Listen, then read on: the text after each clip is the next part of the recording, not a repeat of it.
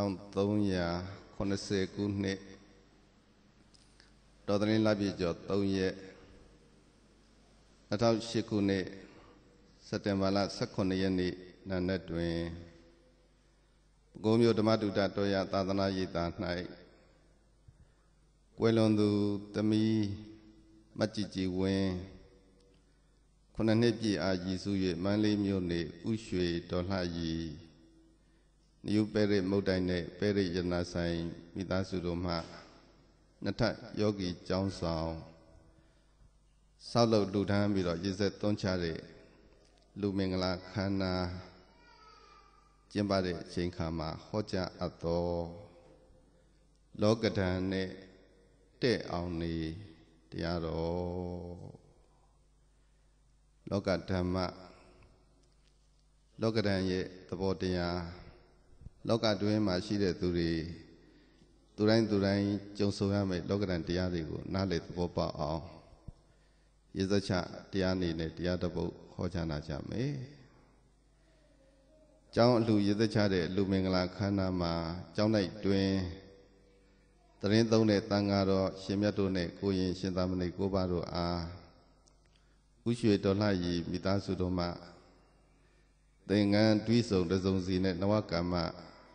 ကျက်တောင်းကျက်စီလူရန်တဲ့ကုသိုလ်ကောင်းမှုတော်ကြော့သမီးဒေါက်တာခင်တန်းအေးမိသားစုတို့မှကျက်3000စီလူရန်တဲ့ကုသိုလ်ကောင်းမှုကိုဆိုးဆိုးမခင်ဆန်းဝင်းကိုတန်းထော့ပါဏန်းစေးပွဲယုံမိသားစုတို့မှကျက်3000ကျက်စီလူရန်တဲ့ကုသိုလ်ကောင်းမှုမန္တလေးမြို့ဝိသခာမြို့သမီးဖွဲ့စိန်ပန်းမဟာစီယနာဘုံသာသနာရိပ်သာမှ ကျက်3000စီလူရန်တဲ့ကုသိုလ်ကောင်းမှုသီလရှင်ဆရာလေးခုနှစ်ပါးတို့အားဥရွှေတော်လှရီမိသားစုတို့မှ9000ကျက်စီလူဒန်းခြင်းတော်ကြော့သမီးဒေါက်တာခင်သိန်းမိသားစုတို့မှ3000ကျက်စီလူဒန်းခြင်းကိုဆူဆူမခင်ဆန်းဝင်းကိုတန်းထော့ပန္နန်စေပွဲယုံမိသားစုတို့မှ3000ကျက်စီလူဒန်းခြင်းမန္တလေးမြို့ဝိသခာမြို့သမီးဖွဲ့ စိန်ပန်းမဟာစီယနာဘုံသာသနာ့ယတာမှကျပ်3000စီလူဒန်းတဲ့ကုသိုလ်ကောင်းမှုနဲ့ဓမ္မပူဇာဖြစ်လူဒန်းကြတဲ့ဥရွှေတော်လှရီမိသားစုတို့မှမုတ်ချင်းကြီးတချင်းနဲ့နဝကမ္မဓမ္မပူဇာအလူငွေကျပ်တသိန်းမန္တလေးမြို့မှာတော်ကြော့သမီးဒေါက်တာခင်သန်း၏မိသားစုတို့မှဓမ္မပူဇာ1000ကျပ်ကိုစိုးစိုးမခင်ဆန်းဝင်ကိုတန်းထော့ပါဏန်စေပွဲယုံမိသားစုတို့မှ ဓမ္မပူဇာလူဒန်းတဲ့လုံငွေ1000ကျပ်မန္တလေးမြို့စိန်မန်းမဟာစီသာသနာ့ရေးတာဝိသခာမြို့သမီးဖွဲ့မှဓမ္မပူဇာ1000ကျပ်နဲ့ရန်ကုန်မြို့မှဥယံချင်းယူခဥထွန်းမြင့်ဒေါက်တာတင်ဝင်းမိသားစုတို့မှဓမ္မပူဇာ9000ကျပ်လူဒန်းတဲ့ကုသိုလ်ကောင်းမှုဓမ္မဒုတတော်ရသာသနာ့ရေးတာကျောင်းပြုပြင်ရန်အတွက်ငွေပရိသပင်လူဒန်းကြတဲ့ မန္တလေးမြို့30 83လမ်း33လမ်း34လမ်းကြားယူပဲရိမုတ်တိုင်းနဲ့ပဲရိရနာရွှေဆိုင်နေဥရွှေဒေါ်လာရီသမီးဒေါက်တာဝင်းမော်မော်သားဒေါက်တာကိုထွန်းဝင်းမမြမြမိသားစုသားကိုအောင်အောင်မချီနာမီမိသားစုတို့မှကျတ်စေသိန်းငွေပရိသပင်စိုက်တူလူဒန်းတဲ့ကုသိုလ်ကောင်းမှု ရန်ကုန်မြို့မကိုလန်းနေဥကျော်မြေတော်ကျော်ခင်မိသားစုတို့မှကျပ်3သိန်းငွေပရိသပင်စိုက်တူလူဒန်းတဲ့ကုသိုလ်ကောင်းမှုရန်ကုန်မြို့နေဥဝင်းနိုင်ဒေါ်နီလာခင်သမီးမယနာခင်မိသားစုတို့မှကျပ်3သိန်းလူဒန်းတဲ့ကုသိုလ်ကောင်းမှုရန်ကုန်မြို့နေတော်တင်ရွှေမိသားစုအမတူမြို့ချမ်းပြည်မြောက်ပိုင်းမှကျပ်3သိန်းလူဒန်းတဲ့ကုသိုလ်ကောင်းမှုမန္တလေးမြို့33လမ်းနဲ့ 85လန်တာပါဏန်းစိပွဲယုံဥကျော်ရွှေတော်တောင်းတောင်းတော်အားရည်စု၍ကိုဆွဆွညီမမခင်ဆန်းဝင်းညီကိုတန်းတော်မိသားစုတို့မှကြက်တသိန်းဝေဝရေသပင်စိုက်တူလူဒန်းတဲ့ကုသိုလ်ကောင်းမှုဥထုံးမြေ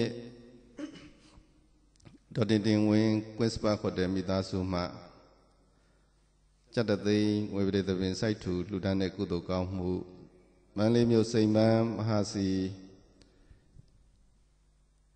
ယယနာဘုံသာသနာ့ရိပ်သာဝိတာခမြို့သမီးဖွဲ့တို့မှကျပ်3000တိတိငွေပလေသပင်စိုက်တူလူတန်းတဲ့ကုသိုလ်ကောင်းမှုတော်ကျင်စိန်အားမှုထား၍တော်ကြည်ကြည်အေးနှင့်မောင်နှမမိသားစုတို့မှကျပ်တသိန်းစိုက်တူလူတန်းတဲ့ကုသိုလ်ကောင်းမှုစုစုတို့ကိုလည်းပဲတရားဟောတရားနာပြီးတဲ့ချိန်ခါမှာတူတကွရေစက်သွန်ချမြတ်တမ်းပေးဝေကြမယ်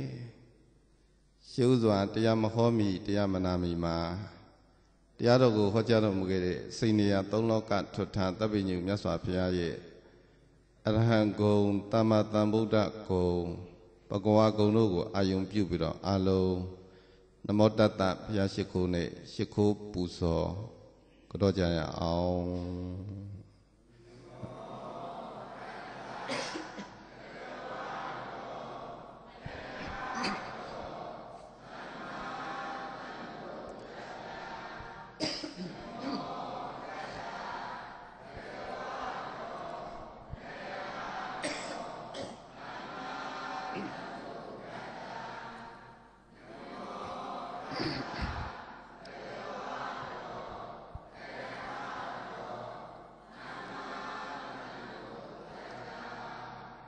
ရဟတောလူမင်းနတ်မင်းယမမင်းတို့ဤဝစင်ကိုယောပူဇော်ထူးကိုခန္တော်မူတိုက်ပါပေထသောရဟတော1500 ကိလေသာမဝေကွာတော်မူတတ်ပါပေထသောအရဟတောစိတ်ွယ်ရာ၌ပင်မကောင်းမှုကိုပြုတော်မမူပြောတော်မမူကြံစီတော်မမူတတ်ပါပေထသော အရဟတောကိလေသာမံသပုံယံကိုအောင်တော်မူနိုင်တော်မူတတ်ပါပေထသောအရဟတောတန္တရာစေကံကွတ်တို့ကိုပေပြက်ခုတ်ထွင် သုတ်တင်တော်မူတတ်ပါပေထသောသမ္မာသမ္ဗုဒ္ဓသာမဖောက်မပြန်တရားမှန်ကိုဆရာမကူတယံဘုညံဖြင့်ထိုတွင်၍သိမြင်တော်မူတတ်ပါပေထသော တတဗကဝတောဣတရိယဓမ္မယတ္တသီရိကာမပယတ္တမီဘုံ၆လီနှင့်ပြည့်စုံတော်မူသောထိုမြတ်စွာဘုရားအား နမောနမမိရှိခိုးပါ၏ရှင်ဘုရားနမောနမမိကိုနှုတ်နှလုံးသုံးပါးပြောင်းပြော့မန်ကိုလျော့၍ကြော့ရိုးကျိုးလက်စုံမိုးက ရှ िख ိုးပါဤရှင်ဖျားအလုံးဖျားရှင်ကိုရှ िख ိုးပူဇော်ပါ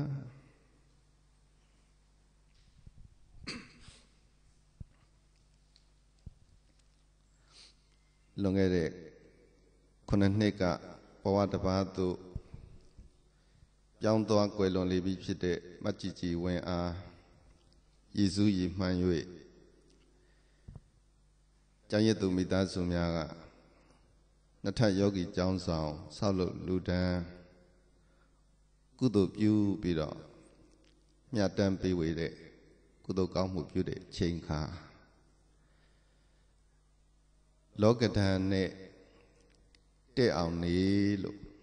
ဘုန်းကြီးကတရားတစ်ပုဒ်စဉ်းစားမိတယ်ပေါ့တတဝင်းမော်ကဘုန်းကြီးကိုကျွတင်ပြီးတော့လျှောက်ထားတယ် ရေစက်ချတဲ့လူရေစက်ချတဲ့အချိန်မှာ လောကဓာတ်တရားနာကြားခြင်းပါလေလို့ကျွတင်ပြီးတော့လျှောက်ထားတော့ဘုန်းကြီးလောကဓာတ်နဲ့ဆက်ဆက်တဲ့အကြောင်းအရာတွေကိုကျွတင်ပြီးတော့တွေးထားပါတယ်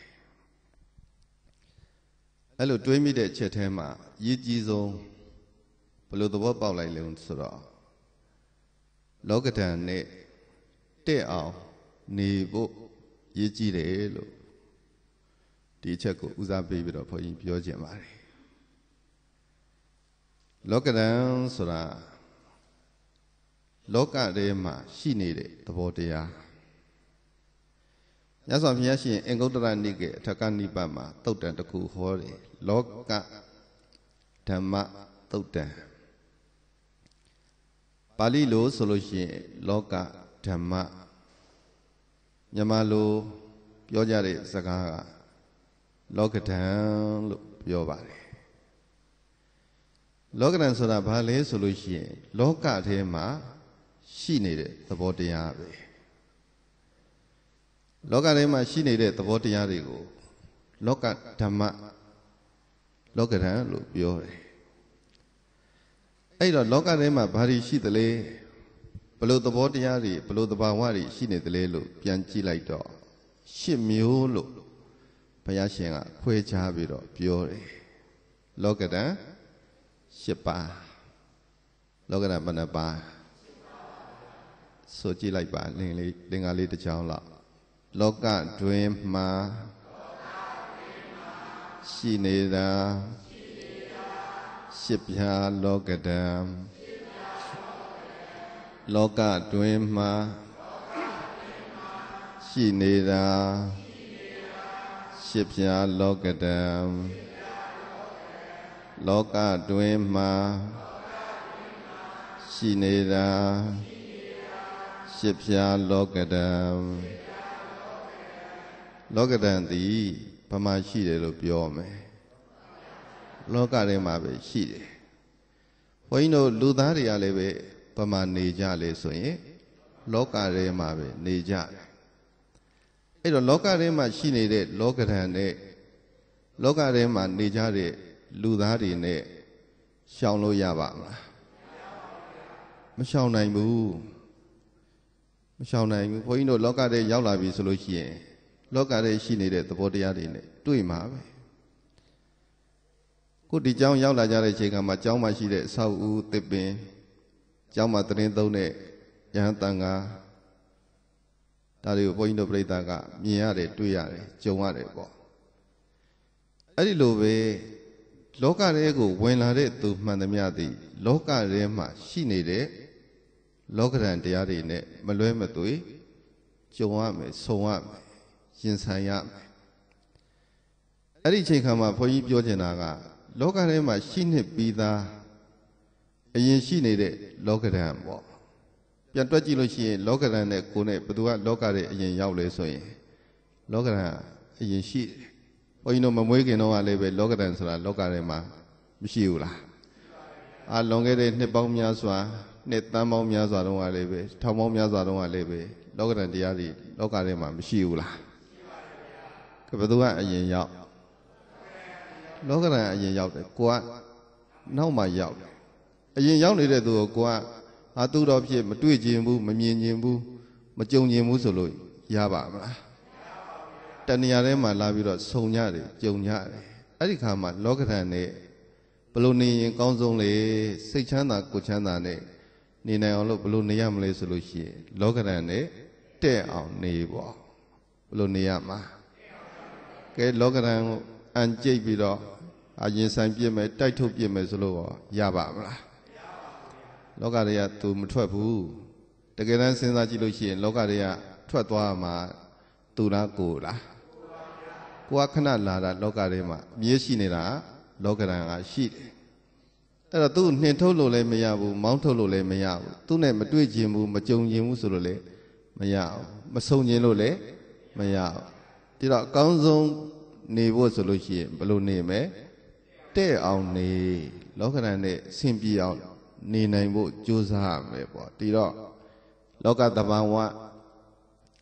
လောကဓမ္မတာလို့ပြောတယ်လောကဓာတ်တရား၈ပါးဆိုတာဘာတွေလဲဘာတွေများလဲဆိုတော့လာဘအလာဘပြည့်စုံခြင်းနဲ့မပြည့်စုံခြင်း လောကဓာတ်ရှင်မျိုးကိုဘုန်းကြီးတို့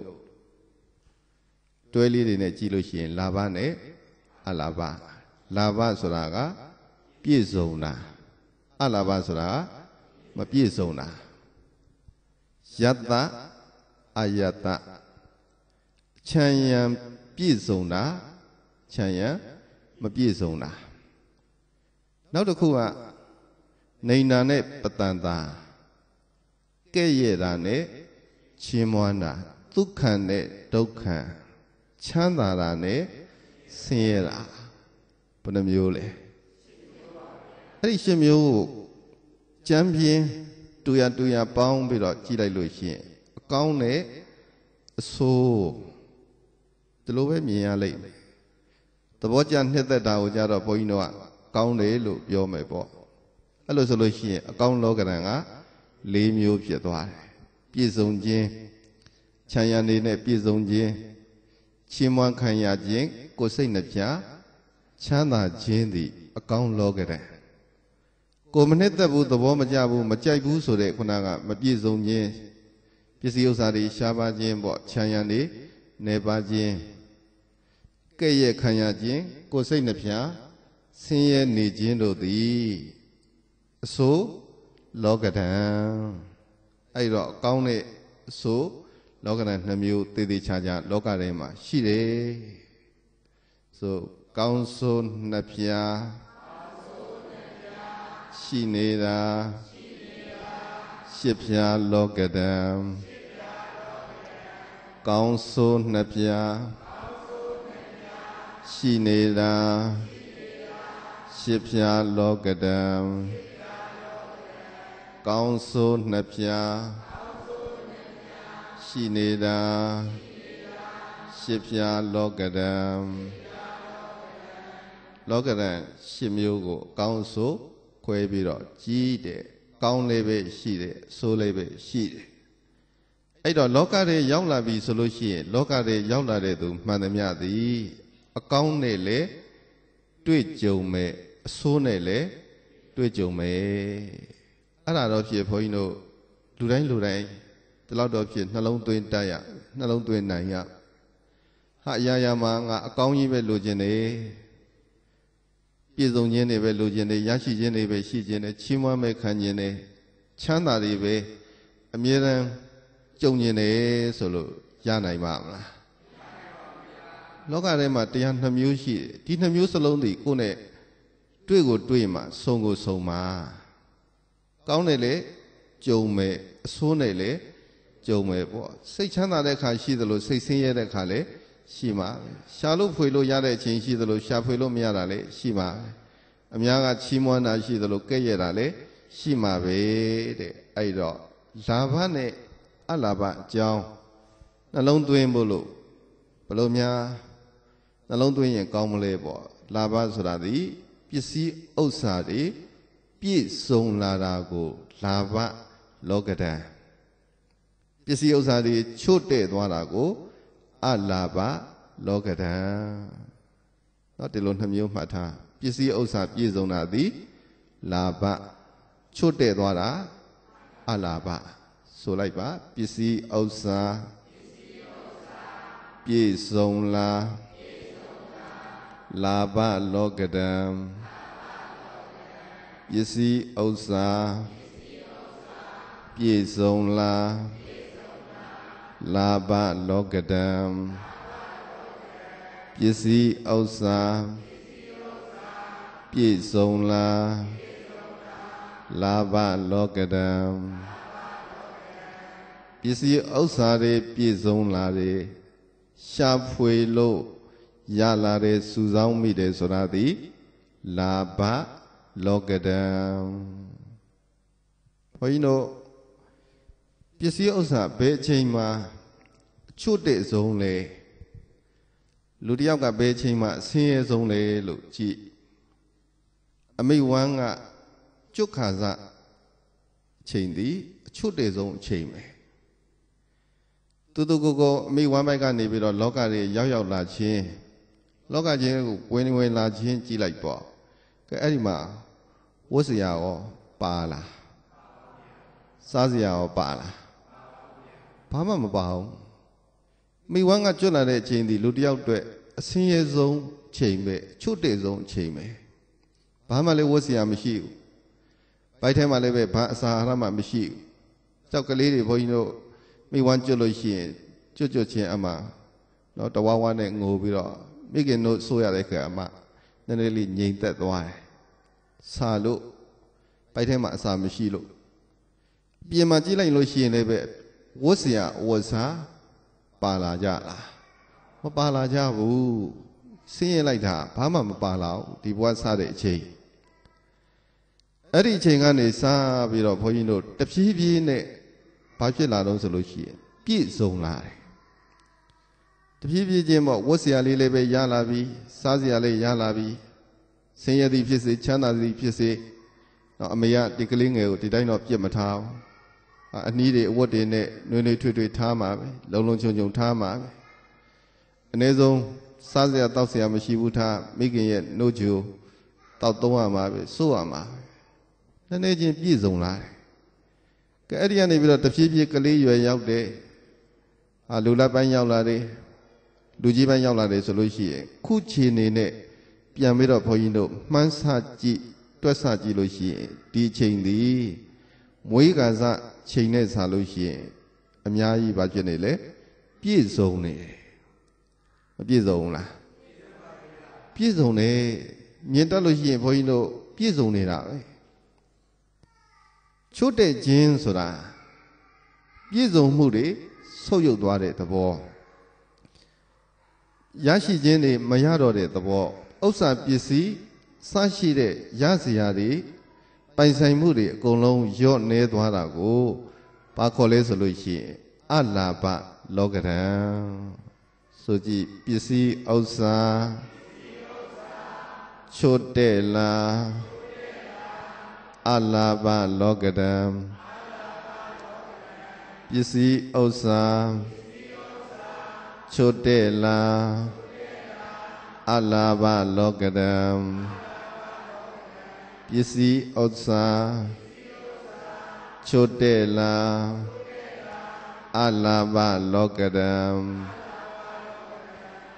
ပိုင်ဆိုင်ရရှိထားတဲ့ပစ္စည်းဥစ္စာတွေချို့တဲ့တဲ့ခေါင်းပါပျက်စီးတယ်ဆိုတာသည်အလာဘလောကရံပိုင်ဆိုင်မှုမရှိတော့အာရင်တော့က အိမ်နဲ့အိုးပိုင်အိမ်ပိုင်နဲ့နေနိုင်တယ်အခုနေစရာအိုးအိမ်မရှိတော့ဟိုတော့ကဆိုလို့ရှိရင်တိုက်တဲ့ကားနဲ့နေနိုင်တယ်အခုတိုက်တဲ့ကားတွေမရှိတော့ဘာဖြစ်သွားတော့ချွတ်တဲ့သွားတယ်အာရင်တော့ကသိမ့်မလောက်ဘလောက်ချမ်းသာတယ်ပေါ့အခုအဲ့ဒီချမ်းသာတာတွေမရှိတော့ဘူးဆိုလို့ရှိရင်ဘာဖြစ်သွားလဲချွတ်တဲ့သွားတယ်ချွတ်တဲ့တဲ့သဘောဆင်းရဲတဲ့သဘောသည်အလာဘလောကဓာမေ အဲ့ဒီနှမျိုးဘုန်းကြီးတို့ပြိဿကြုံကိုကြုံရတယ်တွေ့ကိုတွေ့ကြတခြားသူတွေမပြောနဲ့ပေါ့ဘုန်းကြီးတို့လောကမှာအမျက်ဆုံးဆိုတဲ့မြတ်စွာဘုရားဘုရားရှင်ကိုတော်မြတ်ကြီးမြတ်စွာဘုရားရဲ့ဂုဏ်တော်တစ်ပါးခုနကရွတ်ဆိုပွားများလိုက်ကြတဲ့အရဟတ်တော်လူမင်းနတ်မေမြမမင်းတို့၏ဝတ်စင်းကော်ရောပူဇော်ထူးကိုခံတော်မူထိုက်သော လူတွေနတ်တွေအားလုံးရဲ့ဝတ်စင်းကော်ရောပူဇော်ထူးကိုခံတော်မူထိုက်တဲ့မြတ်စွာဘုရားဘုရားရှင်မှာဘုန်းကြီးတို့စွမ်းသင်္ကန်းကြောင်းစေးပစ္စည်းလေးပါအရှံပဲပြည့်စုံတယ်နာတပိန်တို့ဝိသခါတို့ကျောင်းမကြီးတွေကျောင်းတကာကြီးတွေကျောင်းဆောက်လုပ်ပြီးတော့လှူဒန်းတယ်ဘုရားလက်ထက်ကကျောင်းပေါင်းများစွာမြတ်စွာဘုရားတည်တောင်နိုင်ခဲ့ စွမ်းလူဆိုလို့ရှိရင်လည်းပဲရောက်လျက်အရတ်မှာအလုံးကဝန္တာအာရနဲ့ကြည်ညိုစွာနဲ့လှူကြတန်းကြတယ်သင်္ကန်းစရှိတဲ့ပစ္စည်းဘာမှပြောစရာမရှိဘူးပြည့်စုံတဲ့မြတ်စွာဘုရားအဲ့လောက်တောင်မှပြည့်စုံတဲ့မြတ်စွာဘုရားရှင်လည်းပဲလောကဓာတ်တရားတွေလွတ်ကင်းသလားဆိုတော့မလွတ်ကင်းပါဘူးဝေဒင်သာပြည်မှာမြတ်စွာဘုရားရှင်တန်ခါ1250နဲ့ တရင်သုံးတဲ့အချိန်အဲ့ဒီအချိန်ဝေဒင်သာပြည်မှာကရာသီဥတုဆိုးဝါးနေရာသီဥတုတွေဖောက်ပြန်ပြီးတော့စားနပ်ရိက္ခာတွေရှားပါတယ်နောက်ဆုံးပြောမယ်ဆိုလို့ရှိရင်တစ်မျိုးလုံးမြို့သူမြို့သားတွေအားလုံးစားစရာမရှိဘဲနဲ့ငတ်မော့ခေါင်းပါအစာရှားနေတဲ့အချိန်လို့ပြောရမယ်ပေါ့ဒီအချိန်ကြတော့မှတက်တိုက်ဆိုင်ဆိုင်ဘုရားရှင်နဲ့တန်ခါတထောင်ကျော်က ဒီမြို့မှာသတင်းသုံးတော့မနဲ့မိုးလင်းလို့ဆုံးကန်ကြွသွားပြီဆိုလို့ရှိရင်တပိတ်ထဲမှာဘာမှမရဘူးဘာမှမပအောင်ကြည်ကြုံဝယ်ကောင်းတဲ့မြတ်စွာဘုရားရှေ့ဆုံးကနောက်ကရဟန္တာရှင်မြတ်တွေမြောင်များစွာတက္ကရာကမတွေမကြည်ညိုဘူးလားဆိုလို့ရှိရင်ကြည်ညိုကြမှာပဲဒါပေမဲ့လို့လှူစရာမရှိဘူးသူတို့တော်မှအသက်ရှင်ရည်တည်အတွက် အနိုင်နိုင်နေရတယ်စားစရာတော့မှမရှိဘူးဆိုတော့မလှူနိုင်ကြဘုရားရှင်နဲ့တန်ဃာတော်ရှင်မြတ်တွေပြန်လာကြောင်းရောက်တပိတ်ဆေးရေပဲဖုံးပေးရတယ်ပေါ့အဲ့ဒါကိုခရီးသွားတဲ့မြင်းကုံတွေတွေတွေ့မြင်တဲ့အခါကျတော့မနေနိုင်ဘူးသူတို့မှပါတဲ့စားတော့ဖွေရတွေကြည့်တော့လေဘာမှတိတ်ထူးထူးခြားခြားမေမေရရပူရာချန်တာလည်းမရှိဘာ လို့တော့မြင်းကုံတွေတွေဘုန်းကြီးတို့ပြိတ္တမြင်းစာစကွဲဘုရားနဲ့တန်ဃာတွေအတွက်ကိုလှူခဲ့နော်အကောင်းဆုံးအမြတ်ဆုံးဖြစ်တဲ့လှူဝဲပစ္စည်းတွေလှူခံနေရတဲ့မြတ်စွာဘုရားပြည့်စုံတဲ့မြတ်စွာဘုရားအဲ့ဒီအချိန်ခါမှာဒီစကွဲဆံကိုဖုံးပေးရလူတွေစားတဲ့အစာတော်မဟုတ်ပြောမယ်ဆိုလို့ရှိရင်မြင်းစာစံကြံဆီ ယနာနာကမနေနိုင်ဘူးမကြည့်ရဘူးဒီစကွဲတွေထူထောင်းပြီးတော့ဆံပြုတ်လို့ပေါ့ရေကြိုပြီးတော့ဘုရားကိုဆက်ကတ်တယ်မြတ်စွာဘုရားဖုံးပေးတယ်အဲ့ဒီအချိန်ခါမှာဘုန်းကြီးတို့မြင်အောင်ကြည့်လိုက်လာဘလောကရန်လားအလာဘလောကရန်အလာဘလောကရန်ဘုရားရှင်သည်အလာဘမပြည့်စုံခြင်းကိုလည်းပဲရင်ဆိုင်သွားတယ် ဟာငါဒုက္ခရောက်နေလို့ငါဆင်းရဲနေလို့ဆိုပြီးတော့စိတ်ပြက်တာစိတ်တကြတာစိတ်အားငယ်တာလေမရှိဘူးကဲရှိတာလေးနဲ့ဖုံးပေးမယ်ရှိသလိုလေးနေလိုက်မယ်နေလိုက်တော့လည်းပဲဖြစ်သွားတာပဲပေါ့စကွဲဖုံးပေးရလေတတ်တော့တတ်တာပဲဘုရားရှင်ကိုရောမြတ်ခန္ဓာကိုယ်ကျမ်းမအောင်မျှတအောင်လို့ဖုံးပေးပြီးတော့နေဒါလောကဓာတ်နဲ့တဲ့အောင်နေပြလိုက်တာ ဟိုတော့ကဘုန်းကြီးတို့စာထဲမှာဖတ်ရတယ်ပေါ့မတရားဆရာတော်ဆိုတာလွန်ခဲ့တဲ့နှစ်တရာကျော်ကမတရားဆရာတော်ဆိုတာရှိတယ်အဲ့ဆရာတော်ကသီးခံခြင်းနဲ့အမတမပြည့်စုံတယ်လို့နာမည်ကျော်ကြားတော့ရှင်ဘုရင်ကိုယ်တိုင်ကစုံစမ်းတယ်ဘယ်လောက်များသီးခံနိုင်မလဲဆိုပြီးတော့တခါတလေကြားလို့ရှိရင်ဆွန်းကတ်တဲ့ဆွမ်းမှာဆန်ချမ်းနဲ့ချက်ပြီးတော့ကတ်တယ် အဲ့ဒါကွာလုံးမရောက်ချက်ထားတာလည်းပဲရေကနေတော့မာကြောနေတဲ့ဒီသမင်းဆွမ်းပေါ့မစားနိုင်တော့အောင်ချက်ပြီးတော့ကတ်တော့လေဆရာတော်ကြီးကဘာပြောတော့ဆိုတော့အာကောင်းတာပဲသမင်းကမာတော့နော်အစာပြေတာပေါ့သိခံပြီးတော့နေလိုက်ကဲဒါလို့ဆိုလို့ရှိရင်အမတန်ပြောတဲ့သမင်းချက်ပြီးတော့ကတ်ကြစို့ဆိုပြီးတော့ဆံပြုတ်လိုပဲချက်ကတ်တော့လည်းပဲကောင်းတယ် ဒီဆွန့်ဖုံးပြရတာအစာကြည်တယ်နှလုံးသွင်းတာသူစိတ်ထဲမှာသူဒီလောကရန်တရားတွေကိုဘုန်းကြီးတို့ပြိဿကလိုက်လျောညီတွေနေနိုင်လို့ရှိရင်ကိုယ်လည်းချမ်းသာတယ်စိတ်လည်းချမ်းသာတယ်ရရှိလာတဲ့အခြေအနေဖြစ်ပေါ်လာတဲ့အနေထားကိုကွာလက်မခံနိုင်ဘူးဆိုလို့ရှိရင်ကိုယ်လည်းဆင်းရဲတယ်စိတ်လည်းဆင်းရဲဟာငါဆံပြော့ပြော့စားတာဒီဆံချမ်းကြီး ကျွေးရလားဆိုလို့ရှိရင်ဘုန်းကြီးတို့စိတ်မချမ်းသာတော့ဟာငါဒီလောက်ပြော့တာကြီးမစားနိုင်ဘူးမမလေးမှစားကြတယ်ဆိုလို့ရှိရင်ဒီမှာစားရတာကျဉ်းနှံ့မှုမရှိတော့ဟိုဆရာတော်နှလုံးသွင်းတာမာတော့လေကောင်းတယ်အစာခံတာပေါ့ပြော့တော့လေအစာကြေတာပေါ့ဒီလိုနေနိုင်လို့ရှိရင်လောကရန်နဲ့ဘာဖြစ်သွားတဲ့သွားတယ်တခါတရံမှာဘုန်းကြီးတို့ရှာလို့ဖွေလို့စုလို့ဆောင်းလို့ရတဲ့အချိန်ရှိတယ် ဘာလေးလှုပ်လိုက်လှုပ်လိုက်အကုန်လုံးအဆင်ပြေပြီးတော့အလုံးဖြစ်ချင်တာတွေဖြစ်တယ်တခါတလေကြလို့ရှိရင်တော့ဘလောက်ပဲကြိုးစားပြီးတော့ရှာရှာဘလို့ပဲစုစုဘယ်နေရာကနေဘလို့ပျောက်သွားမှပြက်သွားမှမသိဘူးကုန်သွားမှမသိပစ္စည်းဥစ္စာတွေနော်ပျက်စီးကုန်ခန်းသွားတယ်ဒီခါနှမျိုးစလုံးကိုဘုန်းကြီးတို့ဒီနှမျိုးစလုံးကိုသီးခံနိုင်ရဟာရတဲ့အချိန်လေးရှိမှာပေါ့မရတဲ့အချိန်လေး ရှိမှာပေါ့အစဉ်ပြေတာလေးရှိမှာပဲအစဉ်မပြေတာလေးရှိမှာပဲဒါသည်လောကထဲမှာရှိတဲ့သဘောပဲလို့သဘောပေါက်လိုက်လို့ရှိရင်အဲ့ဒါလောကဓာတ်နဲ့တဲ့သွားတယ်နောက်တစ်ခုဘုန်းကြီးတို့ပြောရမှာကယတ္တနဲ့အယတ္တချမ်းရံချွေရံနဲ့ပြည့်စုံခြင်းရဲ့မပြည့်စုံခြင်းဆိုကြည့်ပါချွေရံများစွာ ပြည့်စုံတာယတ္တလောကတံချွေရံများစွာပြည့်စုံတာယတ္တလောကတံခြေရံများစွာစွန့်ပစ်ခွာအယတ္တလောကတံခြေရံများစွာ စွန့်ပစ်ခွာအယတ္တလောကတံ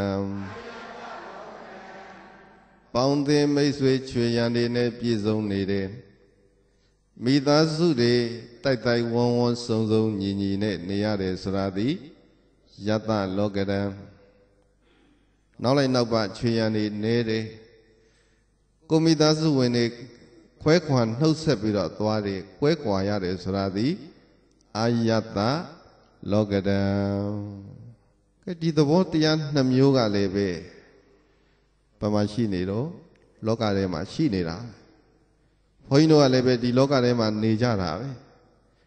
လောကထဲမှာနေကြတဲ့သူဘသူမဆိုခြံရံပြည့်စုံခြင်းမပြည့်စုံခြင်း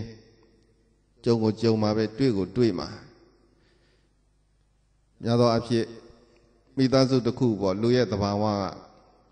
ကိုချစ်ကိုခင်တဲ့မိသားစုနဲ့တိုက်တိုက်ဝန်းဝန်းစီစီယုံယုံညင်ညင်ညွတ်ညွတ်နေခြင်းညအာဒီတာဒီသမီးတွေနဲ့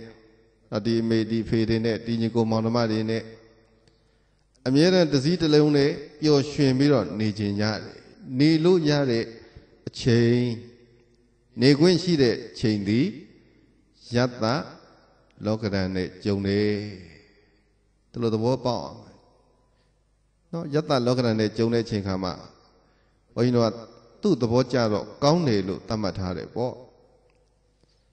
ဒါပေမဲ့လို့ကိုယ်သဘောမကျတဲ့အခြေအနေမိသားစုဝင်တွေတယောက်ယောက်ကခွဲခွာပြီးတော့သွားရတယ်ကွဲကွာပြီးတော့သွားတယ်ကိုယ့်ရဲ့နောက်လိုက်နောက်ပါတပြေတပန်းခြံရံသူတို့နဲ့အဆင်မပြေဖြစ်နေတယ်ဒီအခြေအနေကလည်းပဲလောကထဲမှာရှိနေတဲ့သဘောပဲအယတ္တ လောကဓာတ်မလွဲမသွေလူတိုင်းကြုံရမယ့်အခြေအနေပဲမွေးလာတဲ့သူမှန်သမျှသေခြင်းတရားအဆုံးရှိတယ်မွေးဖွားလာခြင်းဆိုတဲ့ဇာတိထဲမှာပဲသေဆုံးခြင်းဆိုတဲ့မရဏသဘောကပါလာပြီးသားပဲမွေးလာလို့ရှိရင်သေကိုသေရတယ်ဒါဥပမာစကားအနေနဲ့ပြောတော့သေတနေ့မွေးတနေ့တဲ့ သေခြင်းထဲမှာပါပါတော့ဆိုလို့ရှိရင်ရှင်တန်ခြင်းပါတယ်ရှင်တန်ခြင်းထဲမှာပါပါတော့သေခြင်းပါတယ်ကဲဒီမှာလာပြီးတော့ဘုန်းကြီးတို့ဘဝတစ်ခုဖြစ်ဖို့ဆိုလို့ရှိရင်ဟိုဘက်ဘဝမှာဘဝနေကုန်ချုပ်ခဲ့ရဟိုဘက်ဘဝဘဝနေကုန်မချုပ်ဘဲနဲ့ဒီဘက်ဘဝဆိုတာမဖြစ်နိုင်ကဲဒီဘက်ဘဝဆိုတာနေကုန်မချုပ်ဘဲနဲ့နောက်တစ်ဘဝဆိုတာမရှိနိုင်တော့မွေးလာတဲ့ကနေပြီးတော့သေဖို့မျိုးစေ့သည်ကို့မှာမပါဘူးလား ပါလာပြီးသားပဲသူ့မှာလည်းပဲပါလာပြီးသားပဲဒါမဲ့လို့ကံအားလျော်စွာဘုန်းကြီးတို့ချိန်ခါကာလတော့မတူဘူးပေါ့ ဟာ तू ကတက်တန်းဘယ်လောက်နေရမယ် तू ကတက်တန်းဘယ်လောက်နေရမယ်ဒီလိုတော့ဖြစ်กว่าသေးတချို့ကအသက်ရှိရှိနေရမယ်ကံပါတယ်တချို့ကအသက်တူတူပဲနေရတယ်ကံပါတယ်ကိုပြုတ်ခဲ့တဲ့ကံကအသက်တူဖို့ကံတွေပါခဲ့လို့ရှိရင်အသက်ရှိခြင်းလို့မရအောင် အခုမှကံတွေကအသက်ရှည်ဖို့ကံပါလာခဲ့တယ်ဆိုလို့ရှိရင်ဘုန်းကြီးတို့ဘယ်လောက်ပဲသိခြင်းလို့လည်းမရအောင်တော့တချို့စိတ်ညစ်လွန်းလို့သိချောင်းကြံတယ်ပေါ့မသိဘူးအဲတချို့ကသေမှကြောက်လွန်းလို့စစရရတတိထားပြီးတော့နေတယ်မရဘူးသေသွားတာပဲကံအားလျော်စွာဖြစ်နေကြတဲ့သူတွေနော်ကံကပို့လို့ဒီဘဝရောက်ကံကဆုံပေးလို့ဒီဘဝမှာကြုံရတယ် ကံကခွဲခွာလိုက်ရင်လည်းပဲဘုန်းကြီးတို့ဘလောက်ပဲတွဲပြီးတော့နေခြင်းနေခြင်းဘလောက်ပဲချစ်ခင်ပြီးတော့နေခြင်းနေခြင်းနေလို့မရတဲ့အနေထားမရတဲ့အခြေအနေပေါ့ဒါကိုဘုရားရှင်က လောကဒံနှစ်ပါးအနေနဲ့ပြောတယ်ယတ္တနဲ့အာယတ္တယတ္တဆိုတာကခြံရံပြည့်စုံခြင်းအာယတ္တဆိုတာကခြံရံနေချွတ်တဲ့ခြင်း အေးကိုနောက်မှာရက်တဲ့သူတွေကိုယ့်ဘက်သားတွေများတဲ့အချိန်လေးပဲရှိတတ်တယ်ပေါ့အာလူတွေကအားလုံးဝိုင်းဝန်းပြီးတော့ထောက်ခံကြကိုဘာလို့လို့အကောင်းမြင်တော့အားပေးကြတယ်ကူညီကြတယ်တခါတလေကြလို့ရှိရင်ကိုယ့်ဘက်ကဘယ်သူမှမရှိကိုယ့်ဘက်ကဘယ်သူမှမရဘူးငါတယောက်တည်းလိုပဲတော့တလောကလုံးနဲ့ကိုနဲ့အတရွာလုံးနဲ့ကိုနဲ့ တစ်ဖက်စီရက်တည်နေရတယ်လို့ပဲကြုံရတဲ့ခြေနေမျိုးလဲရှိကိုရှိတာပဲယတ္တနဲ့အာယတ္တဘုရားရှင်နဲ့ပဲဘုန်းကြီးကဥပမာပေးမယ်မြတ်စွာဘုရားရှင်မှာခြံရံပရိသတ်တွေအမတန်မှများတယ်ယဟတန်ဃာတွေတက္ကဒကမတွေရောက်ရရမှာ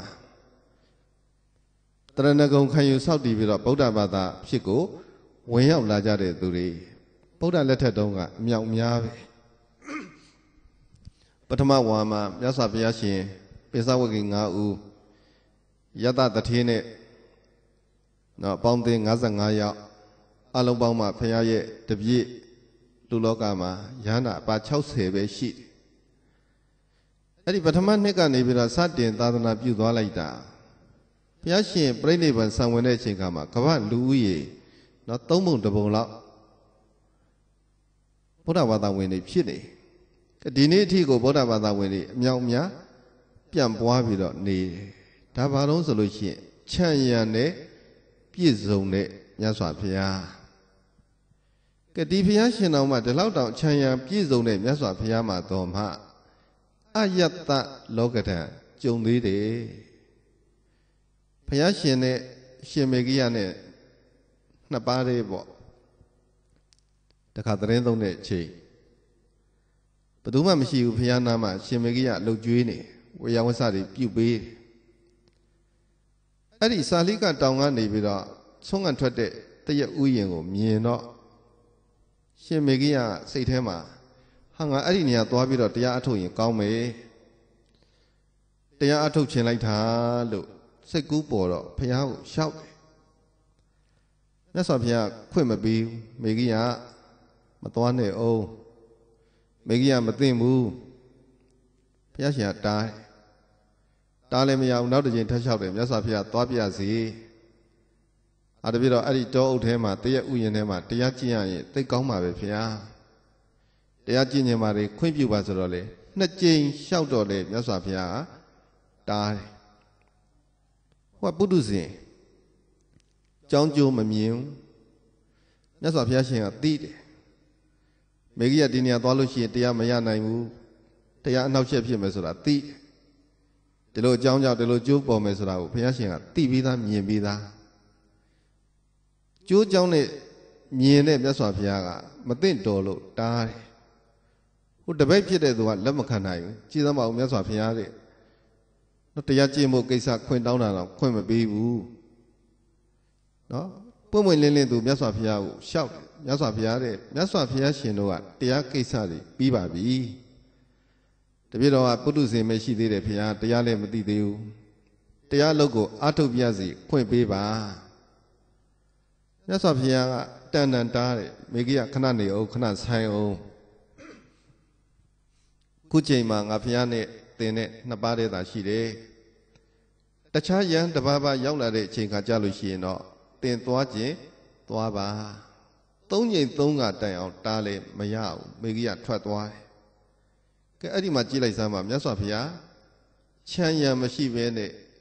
တပါးတည်းကြံခဲ့ကဲဘုရားတပိတ်တွေသင်္ကန်းတွေအကုန်လုံးချထားပြီးတော့မေကြီးကထွက်သွားတယ်နောက်တစ်ခါကောသံမီပြည်မှာပြဿနာတွေဖြစ်တဲ့ချိန်ပေါ့ရဟန်းတန်ဃာတွေမညီမညွတ်ခိုင်းကွဲကြဘာမဟုတ်တဲ့ကိစ္စအကြောင်းပြုပြီးတော့ရဟန်းတွေမညီမညွတ်ဖြစ်ကြ ရဟန်းတွေမညီညွတ်တော့တက္ကရာကမတွေလည်းပဲအုပ်စုနှစ်စုဖြစ်သွားတယ်ဘလို့မှဘုရားဖြောင်းပြလို့မရဘူးတရားပြလို့မရဘူးဒီလောက်ဖြစ်တဲ့ပြိဿဘုရားရှင်ထားပြီးတော့တပါးတယ်ပလလေးတော်ကြွသွားတယ်ချမ်းရံနေပါသေးလားနောက်လိုက်နောက်ပါတွေရှိသေးလားကဲဒီလောက်တောင်မှတော့တပည့်တပန်းပေါ်တဲ့မြတ်စွာဘုရားဘုရားဘာသာဝင်တွေဘုန်းကြီးတို့ တန်းချီပြီးတော့ရှိတယ်တန်တစ်ထောင်လောက်ဒီနေ့ခေတ်မှာရှိတယ်ပေါ့ကဲအဲ့တော့ဆိုလို့ရှိရင်ဘာပြောပြောတန်း100လောက်တော့ရှိကောင်းရှိလိမ့်မယ်ပရိသတ်ချမ်းရံနေဒီလောက်များပြီမယ်လို့တကယ်တမ်းဘုရားရှင်ကိုယ်တော်မြတ်ကြီးသည်ထို့အချိန်များမှာတပါးတည်းသာနေရတယ်ချမ်းရံမေအယတ္တလောကဒံမကြုံလားအယတ္တလောကဒံကြုံတာပဲဒီတော့ ခွဲခွာခြင်းသဘောကွဲကွာရခြင်းသဘောသည်ဘသူမဆိုတွေ့ကြုံရမယ့်နေထားဒါတော့သဘောပေါက်အောင်ပဲပေါ့ခုလွန်ခဲ့တဲ့9နှစ်ကကွယ်လွန်သွားတဲ့မကြည်ကြီးဝင်းပေါ့မိဘတွေညီကောင်မောင်နှမတွေချစ်ခင်တဲ့သူပဲအမိဘတွေကလည်းသူ့နဲ့မခွဲခြင်းဘူးသူကလည်းမိဘတွေနဲ့မခွဲခြင်းညီကောင်မောင်နှမတွေကလည်းပဲသူ့နဲ့မခွဲခြင်းဘူးသူကလည်းပဲညီကောင်မောင်နှမတွေမခွဲခြင်း ဒါပေမဲ့လို့လောကဒဏ်တရားဝင်လာတဲ့အခါကျတော့မခွဲခြင်းပဲနဲ့ခွဲရတယ်ဟာမခွဲခြင်းပဲနဲ့ခွဲရကောင်းလားဆိုပြီးတော့ဒီလောကဒဏ်ကိုဘုန်းကြီးတို့ပြိတ္တကြီးစိတ်ဆိုးလို့ရလားမရဘူးကွဲကွာရမယ့်အခြေအနေဒီလောကထဲမှာရှိကိုရှိတယ်ဒီနေ့မဟုတ်လို့ရှိရင်လည်းမနေ့ပြင်ဖြစ်မှာမနေ့ပြင်မဟုတ်လို့ရှိရင်လည်းပဲတပတ်ခါဖြစ်မှာပဲတနေ့နေ့တစ်ချိန်ချိန်မှာကွဲကိုကွဲရ ဝိလာတဲ့သူမှန်သမျှသည်တေကိုတေရအသက်ရှိတဲ့သူမှန်သမျှသည်အသက်ဆုံးခြင်းကိုရောက်ကိုရောက်ရတယ်ကဲဒါဖြစ်စဉ်တစ်ခုပဲသဘာဝတစ်ခုပဲသူလဲကြုံတယ်ကိုလဲကြုံတယ်ဘယ်သူမှလွတ်တဲ့သူမရှိဘူးလောကထဲနေတဲ့သူမှန်သမျှလူတိုင်းစိကြုံကြတယ်အဲ့ဒီခါမှာတချို့ကဘုန်းကြီးတို့ဘလို့နားလေတုံးဆိုတော့ဟာဒီလိုဒုက္ခဆင်းရဲတွေဖြစ်တာငါတယောက်တည်း ငါမို့လို့ကြုံတတ်တယ်ငါတို့မိသားစုမို့လို့ဒီလိုဖြစ်ရတယ်ဆိုပြီးတော့အဲ့လိုတွေးတယ်နော်လောကရန်နဲ့ဘလို့သဘောပေါက်အောင်လဲဆိုတော့ငါတယောက်တည်းကြုံတာမဟုတ်ဘူးကိုတယောက်တည်းကြုံတာလားလူတိုင်းကြုံတာလူတိုင်းကြုံတာနော်ပြည့်စုံခြင်းရှိသလိုမပြည့်စုံခြင်းသူ့တိုင်းတာနဲ့သူကြုံကြတာခြံရံနေရှိသလိုခြံရံမဲ့တာသူ့တိုင်းတာနဲ့သူကြုံကြတာဟာလူတွေအများကြီးနဲ့ ကိုနောက်ကကိုအပေးထောက်ခံတဲ့သူတွေအများကြီးရှိတဲ့အချိန်ရှိသလိုကိုဘယ်သူမှအာမပေးမထောက်ခံတဲ့အချိန်ရှိတာပဲဒီတဘာဝသည်အနေအများအနေအမြင့်ကွာခြင်းကွာမယ်လူတိုင်းလူတိုင်းကြုံရတဲ့သဘောဒီတော့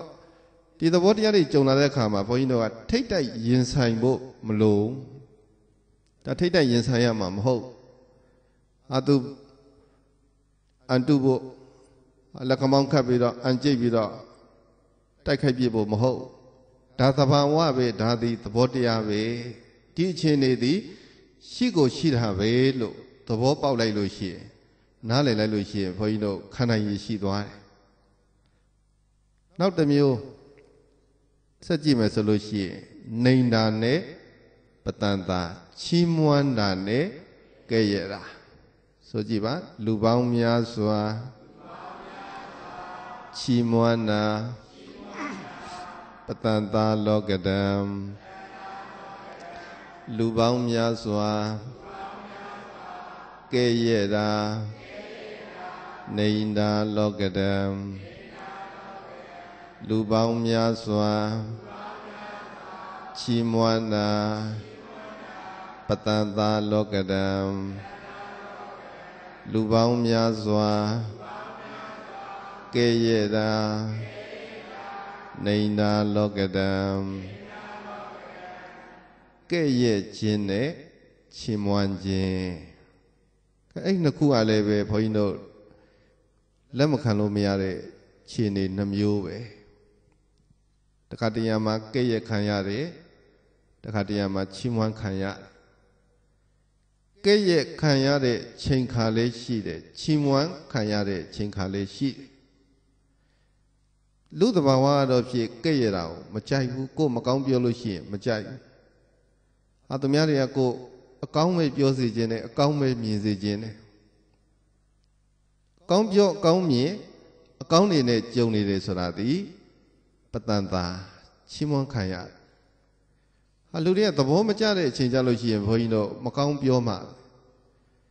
မနှစ်သက်တဲ့အချိန်ကြလို့ရှိရင်မကောင်းပြောမှအရေးကြီးတာက နော်ဒီကောင်းမကောင်းကိုဘာနဲ့တိုင်းတာမလဲကောင်းတယ်မကောင်းဘူးလို့ဘသူကပြောသလဲဒါလေးပဲဘုန်းကြီးတို့ကအာယုံပြုတယ်ပညာရှိသူတော်ကောင်းတွေကဲ့ရတာကိုရှောင်ရမယ်ပညာရှိသူတော်ကောင်းတွေချီးမွမ်းတာကိုသဘောကျရမယ်ဟိုမှာရှင်းတော့ဇာကားရှိတယ်လူမိုက်တထောင် ချီးမွမ်းရှောင်တဲ့လူကောင်းတယောက်ကဲ့ရဲ့ပျောက်ဤမကောင်းတဲ့လူတွေဘာမှနားမလည်တဲ့လူတွေပညာရှိလည်းမဟုတ်သူတော်ကောင်းလည်းမဟုတ်တဲ့လူတွေကဘလောက်ချီးမွမ်းချီးမွမ်းကဲအဲ့ဒီချီးမွမ်းမှုတွေဘုန်းကြီးတို့ပြိတ္တရေအရေးပါရဲ့လားဘာမှအရေးမလုံးနဲ့အဲ့ဒါရောမင်းကြီးဥဖိုးလိုင်ကနော်ကျမ်းစာတစ်ခုရေးတယ် ဥဒုဘောဇနသင်္ဟကျမ်းတယ်စေကျမ်းတစ်ခုပေါ့ဒီနေ့ထိကိုဆေးဆရာတွေလက်ကင်ထားသုံးနေရတဲ့ကျမ်းစာအမတမကောင်းတယ်အမတမပြည့်စုံတယ်တေချာသုတေသနာပြုပြီးတော့သိစိတ်ကိုရေးတာတဲ့ကျမ်းတစ်ခုအဲယောမင်းကြီးကဒီစာအုပ်ရေးလိုက်တော့သူ့မြင်းထိန်ကချီးမွမ်းတယ်ဟာမင်းကြီးရေးတဲ့စာအုပ်သိကောင်းတာပဲ ချီးမွမ်းတဲ့သူကမြင်းထိန်ငညိုဘာမှနားမလည်ဘူးပညာလည်းမရှိပညာမရှိတဲ့သူကဒီစာအုပ်ကိုလက်ချီးမွမ်းတော့ယောမင်းကြီးကတိုးတိုးတိတ်တိတ်အဲ့ဒါသူ့တပည့်ကိုခေါ်ပြောတယ်ငါတပည့်တယ်မင်းအဲ့စကားကိုလူချားတဲ့မပြောပါနဲ့ပြောဒီမှာမင်းအတွက်ဒီမှာဝတ်စရာဒါမင်းအတွက်ဆုလတ်တယ်နော်မင်းကောင်းတယ်ကောင်းတယ်တော်တယ်တော်တယ်ဆိုပြီးတော့လူချားတယ်မပြောနဲ့ဘာလို့လဲ ရှက်လို့ကဲဘာမှမသိနားမလည်တဲ့လူတယောက်ကတော်တယ်လို့ပြောတာဘုန်းကြီးတို့ပြိဿကြီးဂုံယူစရာဟုတ်ရဲ့လားလူမိုက်ချီးမွမ်းဂုံကြီးနွမ်းဤမကောင်းတဲ့သူတွေချီးမွမ်းတာကိုသွားပြီးတော့အရသာမခံနဲ့မตายာနဲ့ပေါ့သူကမှကောင်းတဲ့သူမဟုတ်ဘူးသူချီးမွမ်းတယ်ဆိုရင်သူချီးမွမ်းတယ်ဆိုတာလည်းပဲကောင်းတဲ့ပြုမှုကိုချီးမွမ်းတာမဖြစ်နိုင်ဟိုမှာညင်းတိန်ပညာမရှိတဲ့သူ ပညာမရှိတဲ့သူကတကယ်ပညာရှင်ကြီးတယောက်ရဲ့လက်ရာကိုချီးမွမ်းတော့ရှက်เสียကောင်းလုံးလို့မသိနားမလည်ပဲနဲ့ချီးမွမ်းတော့ဟာငါစာအုပ်ကောင်းတယ်ငါကျမ်းစာကောင်းတယ်ဆိုပြီးတော့မตายရဘူးမตายရရအောင်ဒီတော့ဘုန်းကြီးတို့တိုင်းတာမှာကဘသူကချီးမွမ်းလဲဘသူကကဲ့ရဲ့လဲပေါ့ပညာရှိသူတော်ကောင်းတွေကကဲ့ရဲ့မှာကိုကြောက်နော်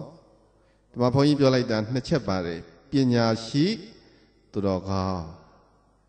တချို့ကပညာတော့ရှိတယ်သူတော်ကောင်းမဟုတ်တချို့ကသူတော်ကောင်းတော့ဖြစ်တယ်ပညာမရှိတချို့ကပညာလည်းရှိတယ်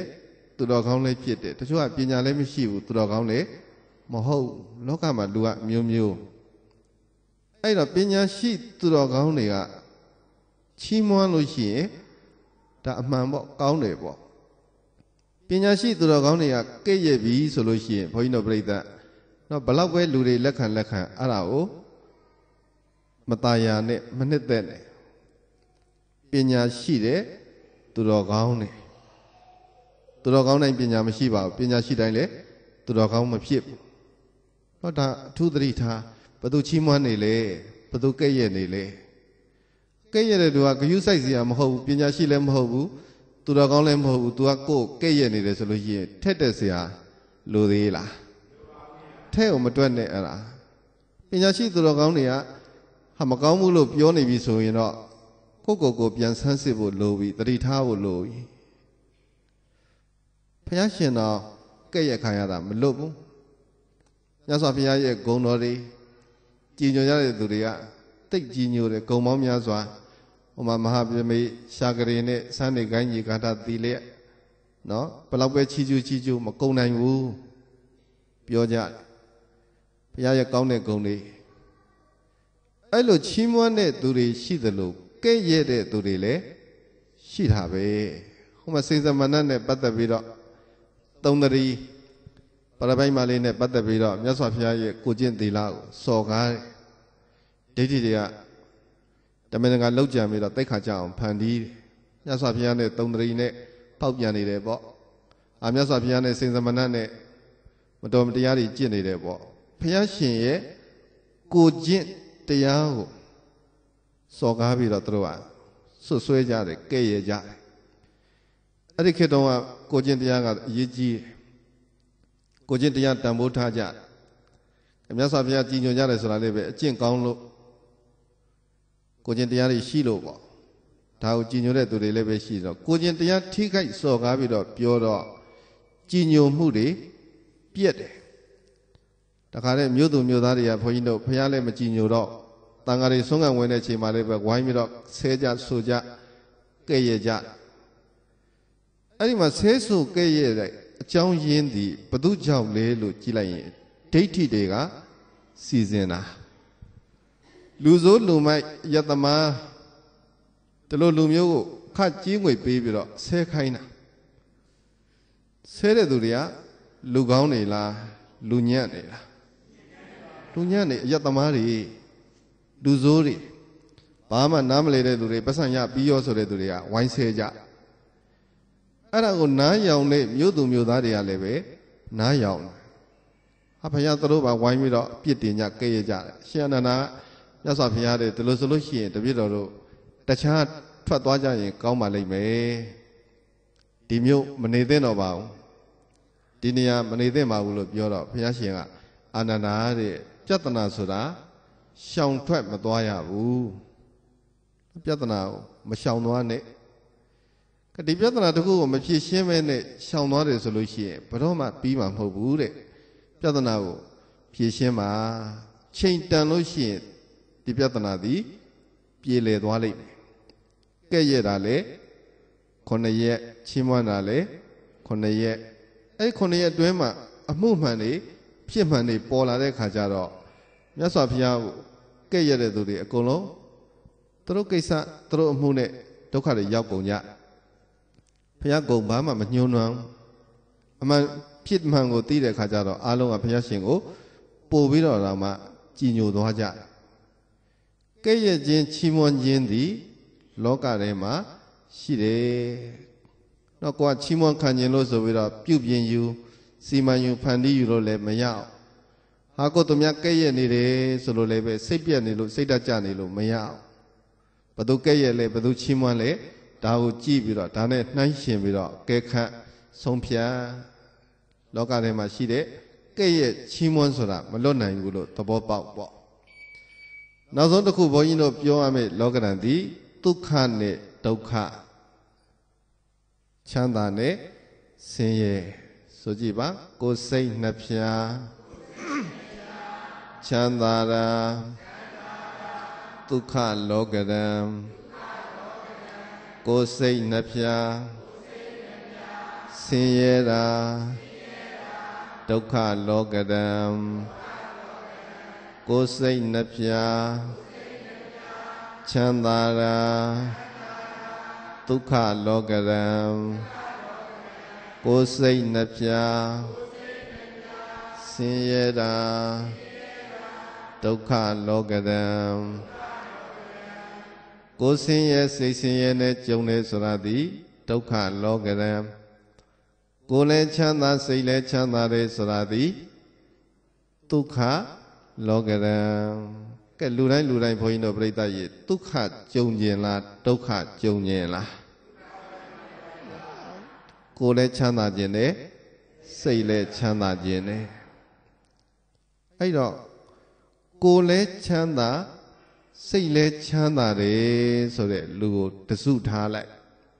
နောက်လောကရှိတဲ့လူတွေကဘာပေါ်ရှိတဲ့သူတွေကိုဘုန်းကြီးတို့လေးစုထားကြည့်မယ်လေးပုံပုံပြီးတော့ခွဲခြမ်းကြည့် တစုတစ်ပုံကကိုယ်လည်းချမ်းသာတယ်စိတ်လည်းချမ်းသာတယ်နောက်တစ်ပုံကကိုယ်လည်းမချမ်းသာဘူးစိတ်လည်းမချမ်းသာဘူးနောက်တစ်မျိုးကကိုယ်တော့ချမ်းသာတယ်စိတ်မချမ်းသာဘူးစိတ်တော့ချမ်းသာတယ်ကိုယ်မချမ်းသာဘူးဘယ်နှမျိုးလဲကဲအဲ့လေးမျိုးထဲမှာ ကိုယ်လည်းချမ်းသာတယ်စိတ်လည်းချမ်းသာတယ်ဆိုတဲ့လူစုသည်အ ਨੇ စုလားအများစုလားအ ਨੇ စုကိုယ်ချမ်းသာစိတ်ချမ်းသာဆိုတဲ့လူလူတရားမှာဘုန်းကြီးတို့10ယောက်တွေ့ဖို့လွယ်လားလွယ်ဘူးနော်လူတရားရောက်လာလို့မင်းကိုယ်ကစိတ်ကချမ်းသာလားလို့လိုက်မေးကြည့်ကိုယ်လည်းချမ်းသာစိတ်လည်းချမ်းသာတဲ့လူ10ယောက်ရှိဖို့မလွယ်ဘူး ဘာဖြစ်နေကြလဲကိုယ်ဆင်းရဲခြင်းဆင်းရဲမယ်စိတ်ဆင်းရဲခြင်းဆင်းရဲမယ်ဒါမှမဟုတ်လို့ရှိရင်ကိုယ်ရောစိတ်ရောဆင်းရဲနေမများဘူးလားအဲ့လိုလူတွေများတယ်နော်တချို့ကြတော့ကိုယ်ချမ်းသာတယ်ကိုယ်ချမ်းသာတယ်ဆိုတာစားဖို့နေဖို့ကိုဖို့အကုန်လုံးအဆင်ပြေလို့ပေါ့ဘာမှလိုလေသေးမရှိလို့ဘာချမ်းသာလဲကိုယ်ချမ်းသာဒါမဲ့လို့စိတ်ကတော့ဖြစ်ဖြစ်ချင်တာတွေမဖြစ်လို့ စိတ်တိုင်းမကြလို့စိတ်ဆင်းရဲကိုချမ်းသာပြီးတော့စိတ်ဆင်းရဲကိုချမ်းသာပြီးတော့စိတ်ဆင်းရဲမစိတ်ချမ်းသာကိုချမ်းသာဆိုတဲ့သူနဲ့ကိုချမ်းသာပြီးတော့စိတ်ဆင်းရဲတဲ့သူနဲ့ဒါနှစ်မျိုးပေါ့နောက်တစ်မျိုးကစိတ်ချမ်းသာပြီးတော့ကိုဆင်းရဲတယ်ကျို့စာဝတ်နေကြက်တဲတယ်မပြေလည်ဘူးရုပ်ပိုင်းဆိုင်ရာမှာချွတ်တဲ့ ဒါပေမဲ့ဘာဖြစ်လဲစိတ်ချမ်းသာပျော်ပြီးတော့နေကြတာမျိုးရှိတယ်ဒါလည်းပဲအနည်းစုလားအများစုလားအနည်းစုပဲတော့စိတ်ချမ်းသာတဲ့လူကတိတ်နေကိုချမ်းသာအောင်တော့ဖြစ်ဘုန်းကြီးတို့ကြိုးစားလုံးလပြုတ်နေကြကိုစီးပွားရှာနေကြတယ်လုပ်ငန်းတွေလုပ်နေကြတယ်ပညာတွေသင်နေကြတယ်ဘာချမ်းသာဖို့ကိုချမ်းသာဖို့ ဟာအိုးတွေအိမ်တွေတိုက်တွေတာတွေနဲ့ပြည့်ပြည့်စုံစုံနေရဖို့စိတ်နေရွှေတွေငွေတွေရှိဖို့ဒါတွေဒီဘာချမ်းသာဖို့လဲကိုချမ်းသာစိတ်ချမ်းသာဖို့ကိုကြတော့ရှာတဲ့သူနေသွားတယ်ဘာလို့စိတ်ဆင်းရဲနေကြလဲဆိုလို့ရှိရင်စိတ်ချမ်းသာမှုကိုနားမလည်နိုင်လို့စိတ်ချမ်းသာဆိုတာလည်းပဲဘုန်းကြီးတို့ကိုချမ်းသာကိုရှာတယ်လို့ပဲစိတ်ချမ်းသာမှုကိုလည်းရှာတယ်စိတ်ချမ်းသာမှုကိုဘာမှရှာမလဲတရားမှာ ရှာတယ်ဘာမှရှာတကယ်စိတ်ချမ်းသာမှုစိတ်ရဲ့ငြိမ်မှုကိုတရားပဲပြီးလောကစည်းစိမ်လောကချမ်းသာတွေကရုပ်ပိုင်းဆိုင်ရာကိုပဲဖွင့်ပြအောင်လုပ်ပေးတယ်စိတ်ပိုင်းဆိုင်ရာဖွင့်ပြအောင်ချမ်းသာဒုက္ခတွေဖွင့်ပြအောင်ဆိုလို့ရှိရင်တရားကမှ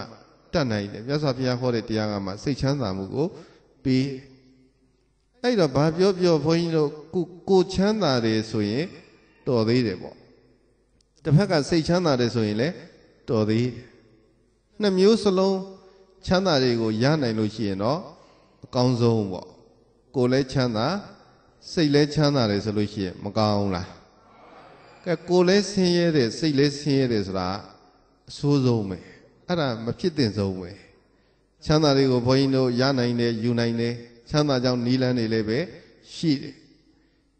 နော်ဒီနီးလန်းတွေကိုတင်တင်ပြသဆုံးမမဲ့သူတွေလည်းရှိတယ်ဒါမှမဟုတ်ချမ်းသာအောင်မရှာဘဲနဲ့ကိုယ်ဆင်းရဲခံတယ်စိတ်ဆင်းရဲခံတယ်ဆိုလို့ရှိရင်တော့တိတ်ဆိုးသွားပြီပေါ့ကိုယ်ဆင်းရဲစိတ်ဆင်းရဲမဖြစ်အောင်အနည်းဆုံးကိုချမ်းသာစိတ်ချမ်းသာနှစ်ခုမရရင်တော့မှတစ်မျိုးမျိုးချမ်းသာအောင်လုပ်ယူရမယ်။ဘာကြောင့်လဲမှစိတ်ဆင်းရဲမှုမဖြစ်အောင်နေကိုဆင်းရဲမှုမဖြစ်အောင်ပြုသင့်ပြုလိုက်တဲ့ လူလောကကိစ္စတွေကိုပြုပေါ့လုံလဝိရိယနဲ့ကြိုးစားပြီးတော့ရှာအဲ့ဒါဆိုလို့ရှိရင်ဘုန်းကြီးတို့ဒုက္ခနဲ့ဒုက္ခဆိုတဲ့လောကဓာတ်နှစ်မျိုးနဲ့ဘုန်းကြီးတို့ပြိဿနေသားကြသွားမယ်တဲ့သွားမယ်ပေါ့အဲ့တော့တဲ့အောင်နေရမယ်လောကဓာတ်ဘယ်နှမျိုးလဲရှစ်မျိုးရှိလာဘအလာဘယတ္တအယတ္တနေနာပတန်တာနဲ့ဒုက္ခံ ဒုက္ခံဘာနဲ့ပဲကြုံကြုံအစဉ်ပြေအောင်လိုက်လျောညီထွေနေတတ်အောင်တဲ့နေဖို့ဒါရသော်ဘုရားရှင်တွင်တင်ပြသတဲ့တရားဓမ္မသည် လောကနေနီးတွေပဲလောကတန်တရားကထွံ့မြောက်နီးလောကဓာတ်နဲ့တဲ့အောင်နေနီးတွေကိုဘုရားဟောပြီးသားပြီးပြီးသားရှိတယ်ဒါကြောင့်အဆိုးလောကဓာတ်နေနဲ့မဆုံញင်မဲနဲ့ဆုံလာရမကြုံញင်မဲနဲ့ကြုံလာတဲ့အချိန်ခါမှာ ဒီသဘောဟာငါတယောက်တည်းဖြစ်တာမဟုတ်ဘူးငါတယောက်တည်းသာရှိတာမဟုတ်ဘူးလူတိုင်းကြုံတယ်လူတိုင်းရှိတယ်ဘုရားတော်မှမလွတ်နိုင်တဲ့ခြေနေပဲလို့နော်ဖြည့်တွေးတွေးပြီးတော့သီးခံကနေနိုင်ကြသဖြင့်ဆင်းရဲဒုက္ခအလုံးငြိမ်းပြီးတော့ကိုယ်ချမ်းသာစိတ်ချမ်းသာနဲ့နေနိုင်ကြသဖြင့်တရားဓမ္မတွေကိုရရှိအောင်ကြိုးစားအထောက်နိုင်ကြသဖြင့်ဒုက္ခခတ်သိမ်းငြိမ်းရာမှန်ညနိဗ္ဗာန်ကိုလင်းမြန်စွာလွယ်ကူစွာနဲ့ ရရောက်နိုင်ကြပါစေလို့ဆုတောင်းပြီးတော့ပဲယနေ့ယခုပြုတဲ့ကုသိုလ်ကောင်းမှုကျောင်းအလူလူဒန်းတဲ့ကုသိုလ်ကျောင်းပြုပြင်ရန်အတွက်ငွေပရိသပင်လူဒန်းတဲ့ကုသိုလ်ဓမ္မပူဇာဓမ္မဒါနလူဒန်းကြတဲ့ကုသိုလ်ဒီကုသိုလ်ဒီကောင်းမှုအစုစုတွေကိုကြံရည်သူမိသားစုတွေကလွန်ခဲ့တဲ့9နှစ်ကဘဝတစ်ပါးပြောင်းသွားပြီးဖြစ်တဲ့မကြည်ကြည်ဝင်းအားရည်စူးပြီးတော့ရည်မှန်းပြီးတော့မြတ်တမ်း ပေးဝေကြမယ်ကုသိုလ်ကောင်းမှုရဲ့ဖို့ပါကရပါစေလို့စိတ်မှထားပြီးတော့မြတ်တမ်းတူတကွပေးဝေကြရအောင်အလုံးစုပါရှင်မြတ်တို့ဖရာတပည့်တော်တို့သည်မျက်မှောက်လည်းငင်းဘေးရန်ကင်း၍ကောင်းကျိုးချမ်းသာဖြားဖြားတို့ကိုလင်းမြန်စွာရပါစေခြင်း ကျိုးငှာ၎င်းမအိုမနာမတိရဖြစ်သောနိဗ္ဗာန်ကိုလင်းမြန်ထုတ်ချောက်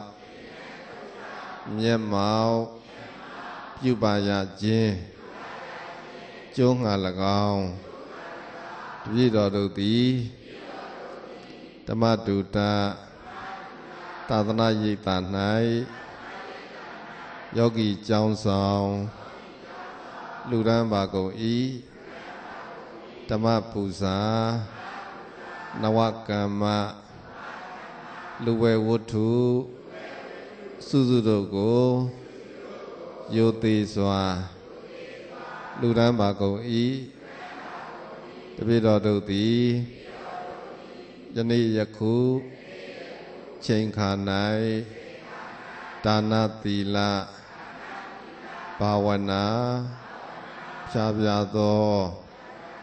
ကောင်းမှုတို့ကိုပြုလုပ်ကြိုးစားအထုပ်ပါကုန်၏တပြည့်တော်တို့ဤကုသိုလ်ကောင်းမှုဖို့ပါကားတို့ကိုတတ်ထင်ရှားထင်ရှားကုန်သောမိဘနှစ်ပါးဆရာသမားတို့အား၎င်း ဤဘဝလွန်လေပြီးသောဘဝလွန်လေပြီးသောဘဝများစွာတန်တရာကရွှေမျိုးမိတ်ဆွေတော်ဆက်လေ၍တမလွန်ဘဝသို့ပြောင်းကုန်ပြီးသောမိဟောင်းဖဟောင်းဆရာသမားဟောင်းတို့အား၎င်း ကိုဆောင်နှံအိမ်ဆောင်နှံကျောင်းဆောင်နှံမြို့ဆောင်နှံရွာဆောင်နှံတောဆောင်နှံတောင်ဆောင်နှံသာသနာဆောင်နှံတရားမင်းယမမင်းစရှိသောနတ်မြတ်နတ်ကောင်း နတ်ပေါင်းတို့အား၎င်းမြင်အပ်မမြင်အပ်နှရသောပရိသတ်တို့အား၎င်းထူအဖြစ်လွန်ခဲ့သောခုနှစ်နှစ်ကဘဝတစ်ပါးသို့ပြောင်းသွားလေပြီးသောမကြည်ကြည်ဝင်းအား၎င်းအမြအမြ ဝေငှပါကုန်၏အမြအမြဝေငှပါကုန်၏အမြအမြဝေငှပါကုန်၏စောကဲ့ပြီးသောတတ္တဝါများတို့သည်တပည့်တော်တို့နှင့်ထတ်တူထမ်းမြတ်ညီသူညီများမြတ်ရ၍ကိုယ်စိတ်နှပြ ကျမ်းမာကြသည်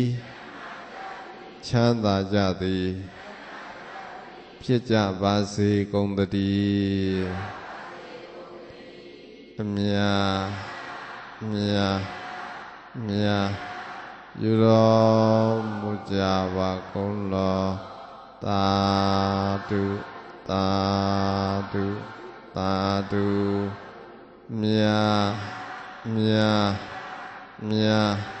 ယူတော်မူကြပါကုန်လောသာဓုသာဓုသာဓုမြာမြာမြာယူတော်မူကြပါကုန်လောသာဓုသာဓုသာဓု